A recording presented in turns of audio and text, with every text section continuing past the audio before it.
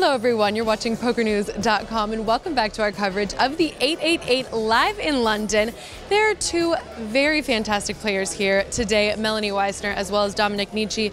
And for those who don't know, not only are they exceptional poker players, they're also foodies and best friends. I decided to test their knowledge of each other and their food game.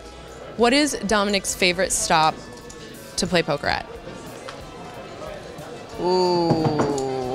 Um, wow, this is really tough. I, I feel like the answer should be World Series because he's won all his bracelets. But San Remo is a good option. He loves Italy. Uh, Barcelona with all the food. This is this is too hard. I want to say I want to say Barcelona. Probably also Barcelona and very much for the same reason, which is food. What's your favorite poker stop? I think it's uh, South Africa or Australia, one of the two. I was gonna say LA, but she lives in LA, so it probably doesn't count, so I'm gonna go with Barcelona. Because of the food.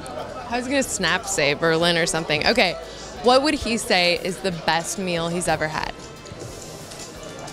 Tickets. I was in Tokyo earlier this year, so I'd say uh, I've had a few better meals in Tokyo. Sick brag. What would be his go-to cheat meal? I I was gonna say as far as I know, but I actually know beyond the shadow of a doubt that he has never worked out in his life, so I don't think he has any cheat meals. This is a trick question. No, I'm, I, eat, I eat all kinds of food, so whatever I can find in the city, I'll. Uh, Um, who's more aggressive on the poker table?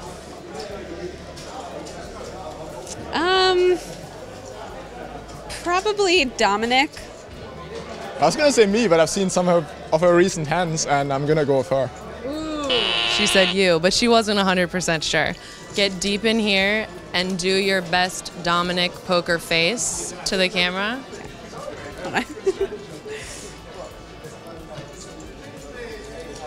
Now, the most important moment that we've all been waiting for.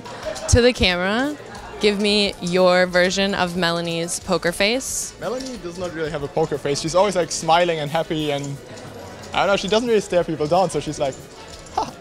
And actually, like she makes people fall that way, which is probably good. Good. And the Dominik uh, food orgasm face.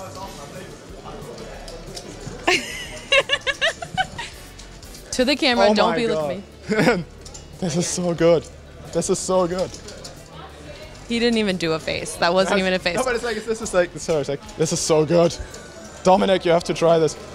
Now that both of you have essentially heard all of the answers of both of the other people, I feel pretty confident that your relationship is very solid. Were you surprised by anything? No. Were you surprised by anything? No. It's a match made in Dominik impression? foodie heaven. Match made in foodie heaven, right here. And finally, I just want to see because he was saying that your poker face was like this. "Ah." What is your poker face really like? I don't want to look directly at you with it because I'm afraid it might burn you. That's what I was thinking. I feel like her poker face has like a really high, really scary eyebrow, and like I am get out of the line of fire. Okay, they clearly have some really important food to go eat. Thank you guys so much for tuning in. You can get more coverage of all things poker and maybe some things food on PokerNews.com.